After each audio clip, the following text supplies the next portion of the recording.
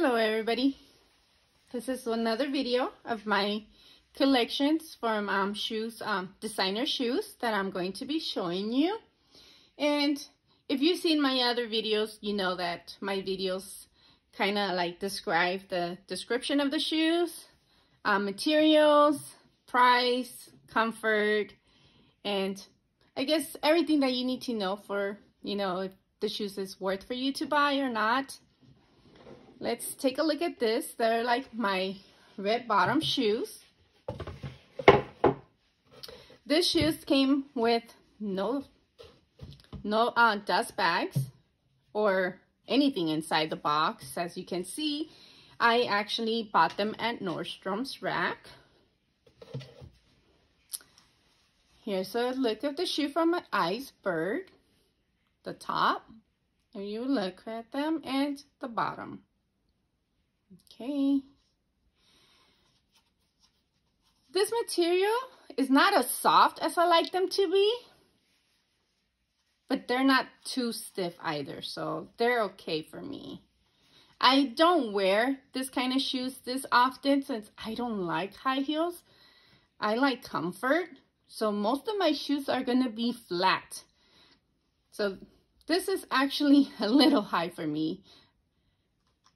But you know, if you like high heels, probably this you this is too small for you.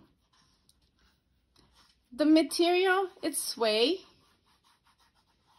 So um haven't worn them yet, but I think I might have to be very careful since they're suede. If they get like a water stain or something, I think it'll be kind of hard to take off unless you have special soap or brush for suede, like cleaning materials for suede. This shoe was made in Italy.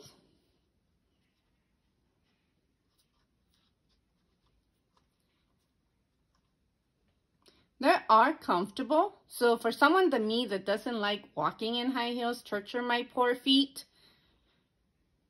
this is comfortable for me.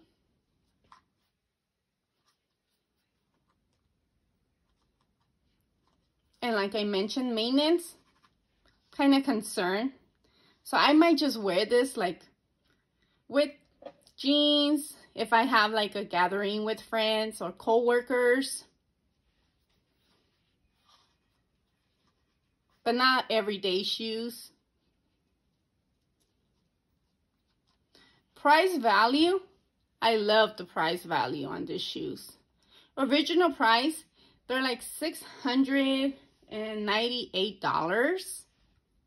But because I got them on Nordstrom's Rack, I only paid $173. So if you have the patience, sometimes you're able to find good quality stuff in those stores. So price value, I like. And for a shoe that I'm not going to wear that often, it's also a good price.